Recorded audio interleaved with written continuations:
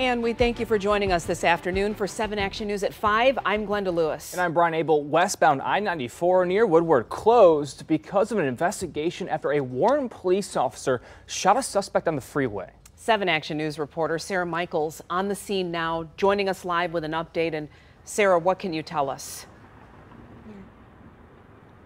Well, Glenda Brian, the car that that suspect was driving has been stuck in the median behind me for hours. I-94 right here shut down. They just pulled the car out and you can see the police presence, the canines as well. Police tell me that the car got stuck here after recklessly fleeing from police and purposely hitting multiple people in their cars.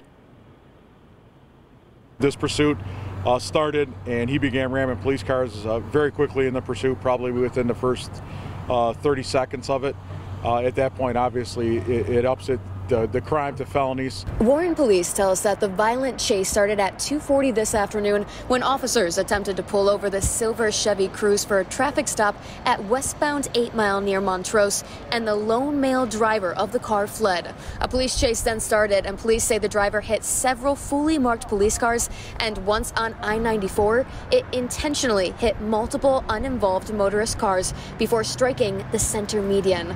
Once stuck in the median, officers went to take the suspect into custody, and that's when officers fired a shot at the driver.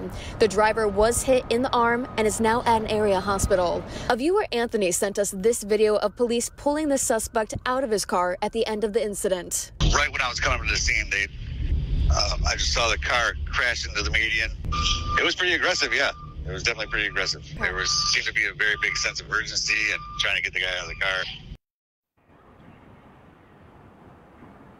And police tell me they don't know why this driver fled from them. The investigation is still ongoing. Live in Warren, Sarah Michaels, 7 Action News.